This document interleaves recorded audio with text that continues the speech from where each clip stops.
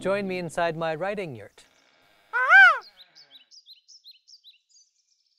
Come on.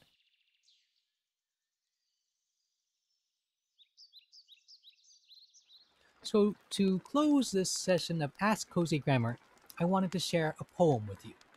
This comes from the 12th century Tamil woman, poet, and saint Avvaiyar, whom I've translated in my book, Give, Eat, and Live Poems of Avvaiyar.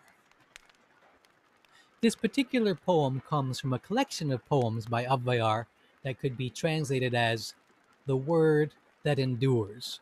The Tamil word is Moothurai, old word, old saying, or I've translated it as the word that endures. And it's a poem about gratitude. And I'm going to read it to you twice. So the first time, simply listen to it and allow the sounds of the words to wash over you. Uh, see if you can enjoy the sounds of the words without worrying about what the poem means. It's just a short poem. It's the first poem from The Word That Endures. When doing good to a man, do not ask if he'll do good.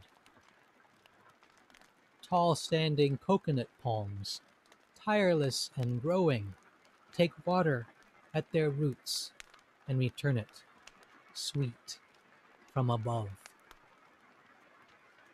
I thought of sharing this poem not only because Thanksgiving is around the corner, but also because it's raining today, and I've been thinking about maybe you can even hear the rain in the background.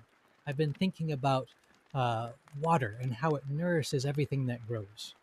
Um, let me share that poem because I can do this because we're here together in this format. Let me share this poem with you in Tamil. So even if you don't know the Tamil language, you can hear how the poem sounds in the original.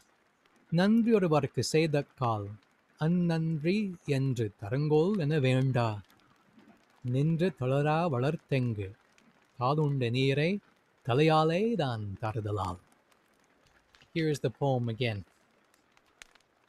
When doing good to a man, do not ask if he'll do good.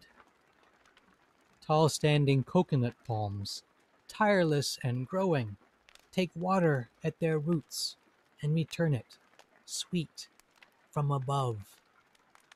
Avvaiyar tells us that when we do something good for somebody else, don't worry about whether they'll do something good in return, either to yourself or to somebody else. Think of the coconut palm. Someone may come and water it at the roots, at the foot of the tree. Who knows what the tree will do because of that water in that moment? We can trust that later on that water will be transformed from above in the form of the water, the sweet water of the tender coconut. It's a beautiful image for how, when we do something good, it comes around. Maybe it won't come back to us, but it'll come around to somebody else, just as the good that somebody else may have done will come around to you.